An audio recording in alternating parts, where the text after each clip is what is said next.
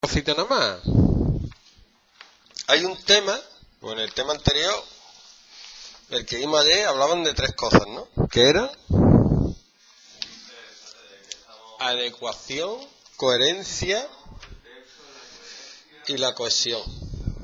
Bueno, pues en este tema te hablan nada más que de cohesión. ¿Por qué?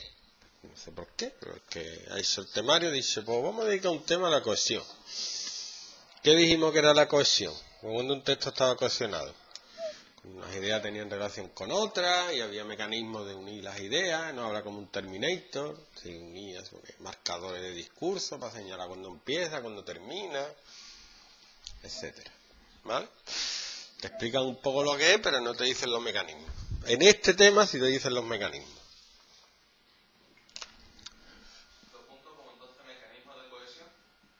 No. El tema se llama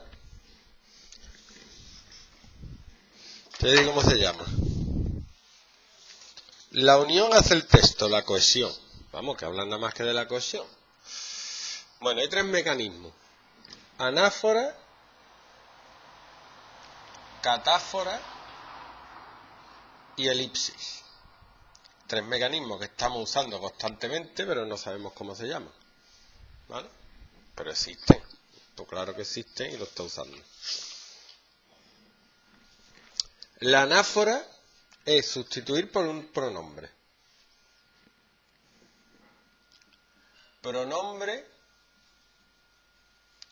que se refiere a algo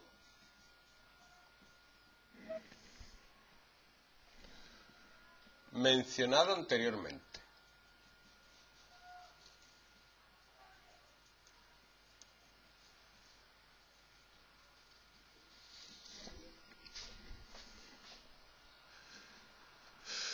Eh, Juan escribe muy bien. Él es escritor, por poner algo, ¿vale? El él se refiere a, Juan. Por decir otra vez Juan. Juan escribe muy bien. Juan es escritor. Juan papatín, Juan patatán. Pues lo va sustituyendo. si no, va a ser un verdadero infierno.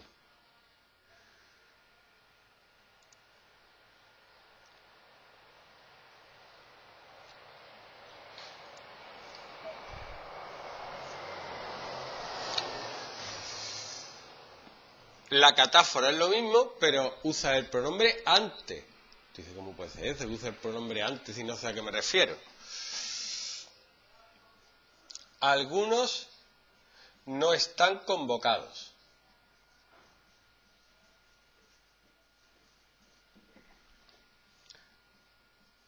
Los jugadores del Madrid protestan a Carlo Ancelotti. Alguno es un pronombre. Todavía no sabemos de qué estamos hablando, ¿vale?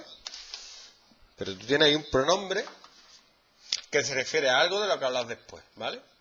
¿Por qué se usa? Pues para dar emoción a lo que estás diciendo.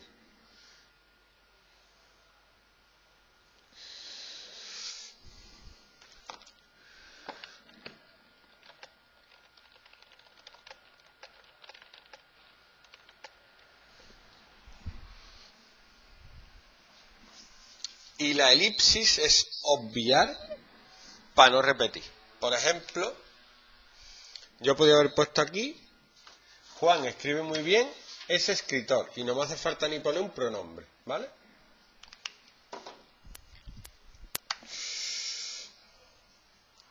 Yo llevaré el coche rojo y tú el gris. Tú fíjate todo lo que te ahorra. Te ahorra el verbo y te ahorra el nombre. Solo tienes que decir el gris, pero ya se sabe que tú vas a llevar el coche gris. No hace falta decirlo. Puede ser una elipsis.